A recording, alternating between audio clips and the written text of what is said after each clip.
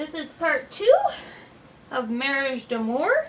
We're going to be working on the right hand for the first four lines. Now, the right hand comes in on the third measure. So the left hand will be will play uh,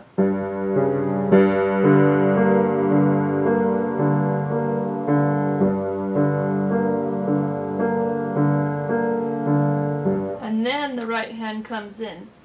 It does wait a 16th rest uh, before the right hand comes in. So the left hand will play the uh, low G and then the right hand will come in.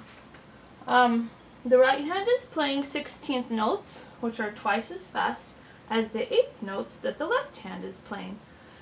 And we're going to start with our right hand on this upper G. Um, I would recommend um, starting with your third finger on that upper G. And just the melody basically just goes doubled notes and goes like this.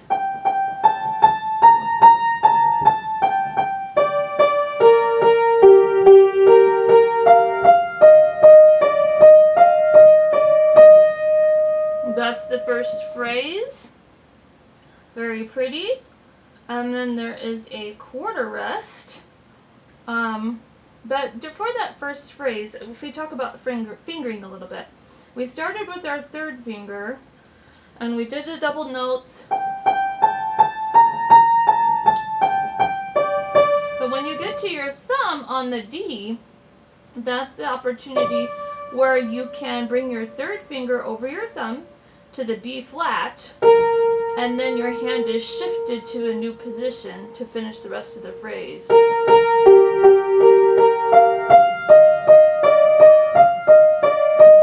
that's an easy way to get your hand moved to a new position and finger it smoothly. Um, then we have uh, a rest and a 16th, a quarter rest and a 16th rest before we begin the next phrase. Um, and the left hand again we'll come in first on the low F and then the right hand starts with uh, E flat. Um, so as far as fingering goes for this one, I'm thinking might start on a two finger on that E flat. Again, it's doubled notes usually.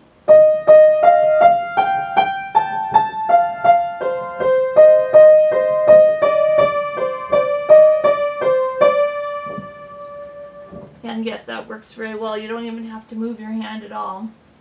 Um, there is um, another quarter rest, and then again the 16th rest, uh, where the left hand comes in first, and then the right hand comes in. Um, it actually is, let's see if it's an exact repeat.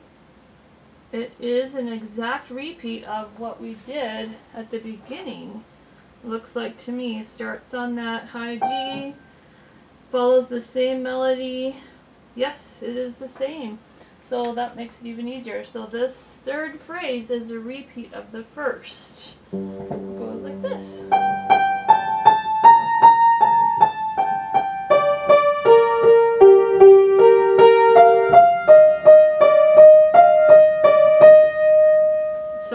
Can cross your third finger over once you get to that D and then uh, move your hand down to the B flat and, and move it to where you can play the rest smoothly. Then we, have another quarter rest and a 16th rest. So that's that's a pattern. And then this second or this fourth phrase, yes, it is a repeat of the second phrase. Oh, that makes it a lot easier. So this phrase is the same as this phrase. So fourth phrase, same as the second. Um, the left hand plays its F and then the right hand plays starting with your two finger on the E flat.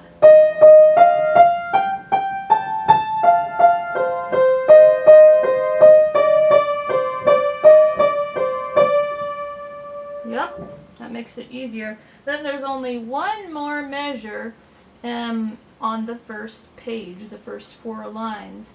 And this is a repeat of what we just played.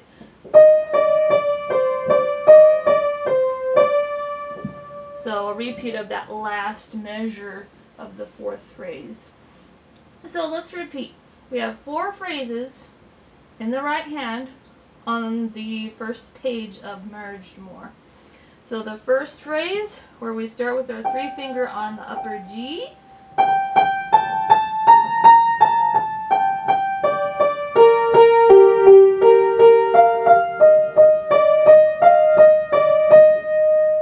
Then we have our quarter rest in the 16th rest, and then we have the second phrase, where we start with our two finger on the E flat.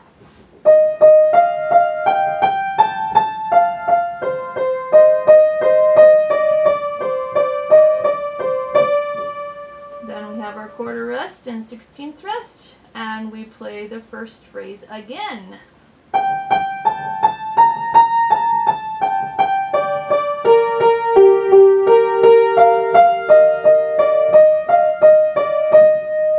And a quarter rest and a 16th rest, and we play the second phrase again on the E flat.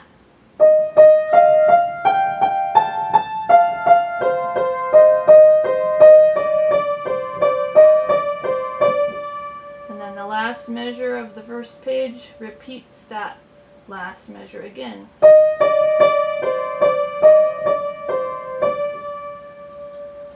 Okay, that's the first page uh, with the right hand. We'll do a part three where we talk about how to put the two hands together.